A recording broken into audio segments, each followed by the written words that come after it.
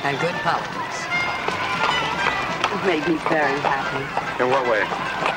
Accepting Richard as your brother. And your vote at the Globe yesterday did more to cement relations than you can imagine. Well, it's purely business, Mother. It's got nothing to do with brotherly love. Are you going to the party in Falcon Crest this evening? If you promise to have dinner with me this week in San Francisco, alone,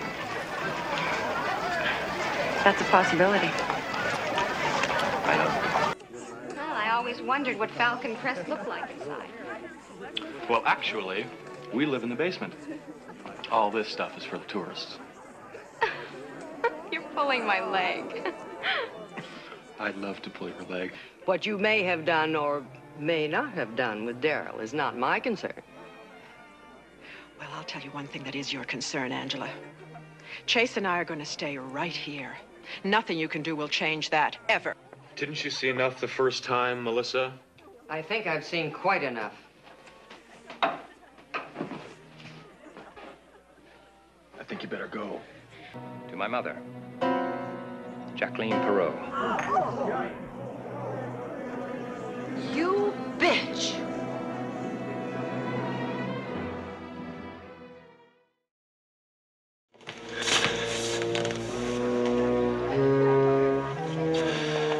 Hello, Dr. Toscanni. No, I wouldn't have guessed who, Fallon. All those interrupted phone calls, uh, those nights away from home. I never would have guessed with whom.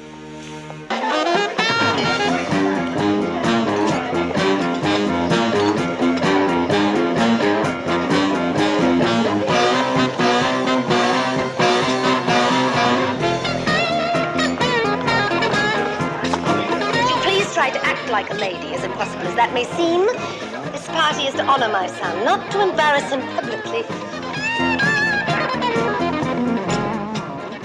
You are what you are, my brother's biggest mistake. You could try and change that by trying to be a decent human being. Try to live up to what being a Carrington really means. Oh! you find that funny? Yes, I find that very funny. I mean, you, high and mightying me. I may only be a Carrington by marriage, but you're not even one by birth. What are you talking about? See, like Stephen told me, Blake Carrington isn't your real daddy.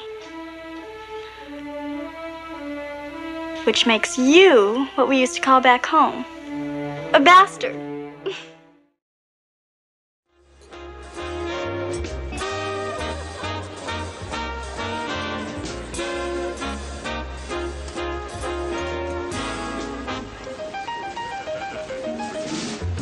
Abby. Oh, Peter, hi. I got here as soon as I could. Thank you for coming. Seems both my escorts let me down this evening my daughter and my husband. Well, I'm here if you need me. I'll let you know. Let me take you around.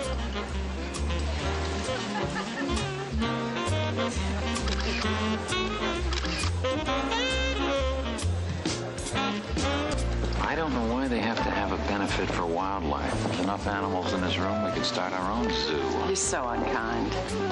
So cute, such a good dancer, but so unkind. I knew about Val's babies all along, Gary. I knew about the kidnapping. Why am I not surprised? I was out there trying to help. It would have been irresponsible to, to raise her hopes without some kind of proof. We all know that Val's emotional state right then was delicate. I didn't want to risk hurting her any more than she'd already been hurt. Sounds a little like Mother Teresa, huh?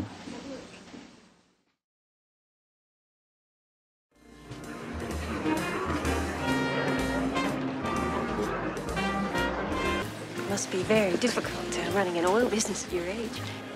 Well, I'm getting expert advice.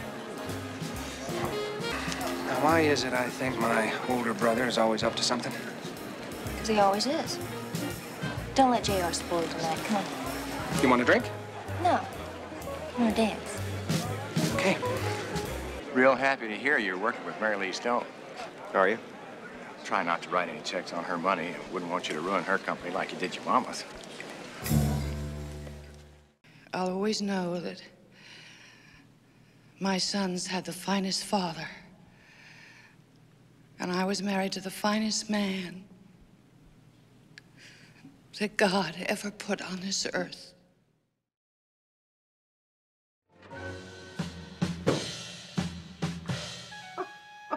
Well, I knew I should have called my own couturier, but I figured it was only for one night. Oh, damn.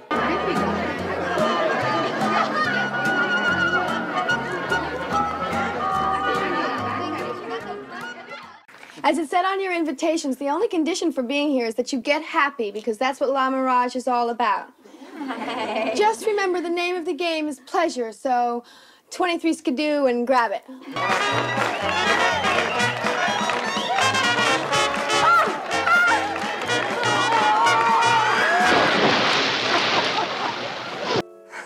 Neil, you scum.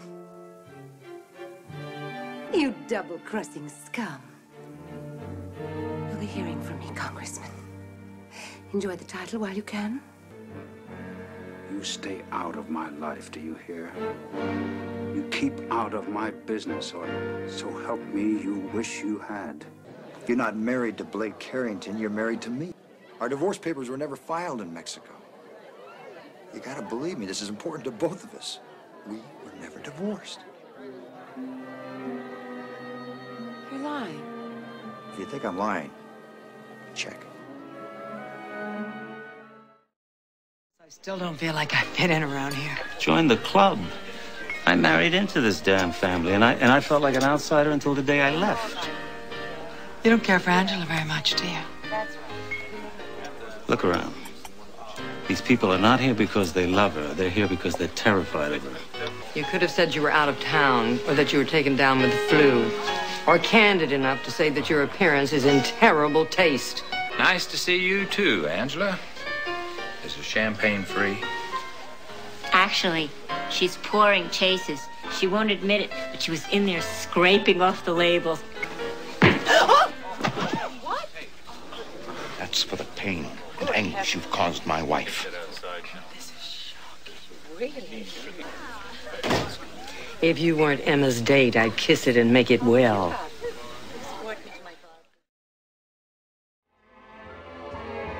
Sandra, what are you doing here?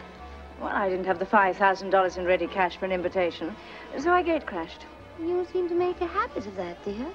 Gate crashing into people's homes, people's private lives. Do you mind telling me exactly what that's supposed to mean? Doesn't mean a thing. Seemed to make you a bit nervous. Did I hit a nerve? No, of course not. Good. By the way, you didn't tell anybody that Ben's in Denver, did you? Or that I brought him to the party? You know me better than that, Alexis. I gave you my word.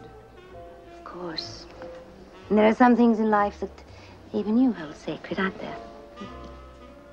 Toodaloo.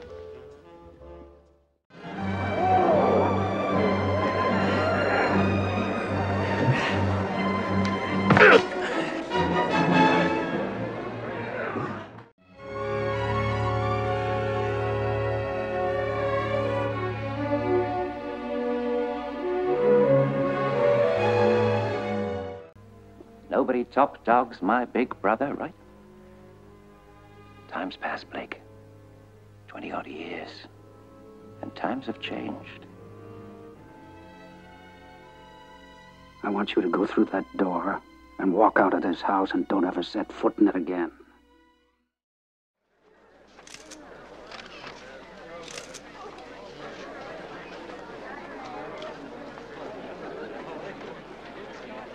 Hello, Patricia.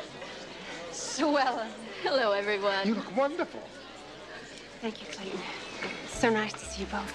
You look beautiful. What a surprise. Come and join us. You know, I was behind this from the start. I'm going to enjoy being your boss. Sell your interest in Ewing Oil? That's what I've been thinking. To whom? Maybe an offer. You're just as bad as JR. Well, you don't have to worry about Sue Ellen. She doesn't live in Southfork anymore. As a matter of fact, I may not be there much longer myself.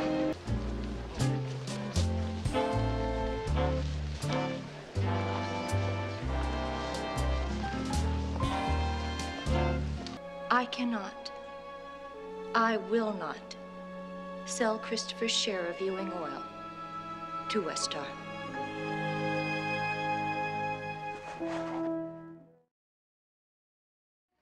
Well, I suppose you better enjoy him while you can. What's that supposed to mean?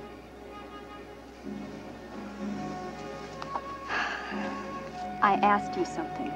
Well, here's your answer.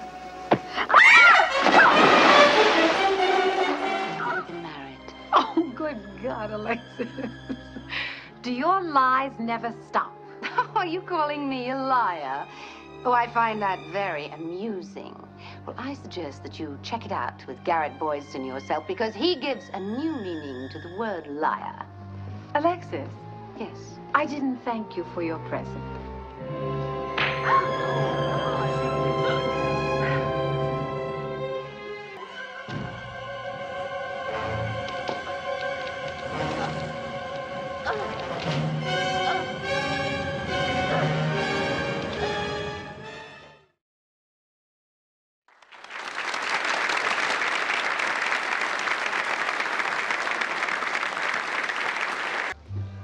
Well, I hope you're not too upset my taking Jeff away from you. Upset? Well, I love the boy. And what an opportunity you've given him. It's a chance of a lifetime for him. Not to mention the challenge. Oh, it'll be a challenge, all right, when he starts dealing with Jason Colby.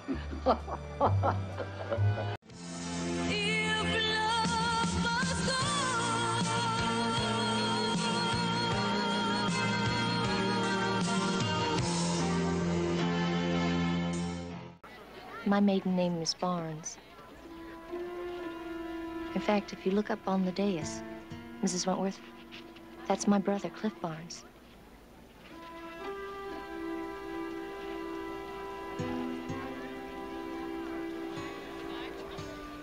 I see. We lost the deal. Unified soft drink got it.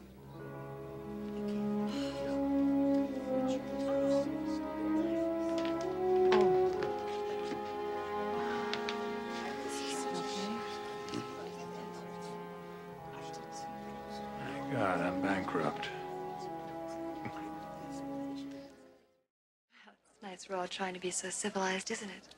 I don't think you're in any position to talk about being civilized. The way you latched onto Bobby in such a hurry.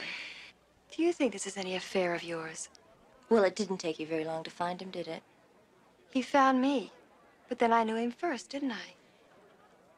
Uh, ladies, I don't think this is the proper place for an argument. Why don't we go back to our table? Afton, why don't you just stay out of this? This is between Pam and Jenna. And you? I don't know why we're arguing. You're not married to Bobby anymore, Pam. You gave him up. You're right. We really don't have anything to argue about. Well, then, let's all go back to our tables. I'm happy with my date, Pam. I Certainly hope you're happy with yours. I'm sorry, Pam. She's a real witch. Hey, Lawrence. Your philanthropy is truly awe-inspiring. Gerald, let's go. I think you gave that scholarship the wrong place. Did I really? Yeah, the proper recipient of the Digger Barnes Scholarship Award isn't a university. It's a neighborhood bar. My daddy might have done some drinking, but he sure as hell never stole from his friends. Is that right? Not here! They gotta take it.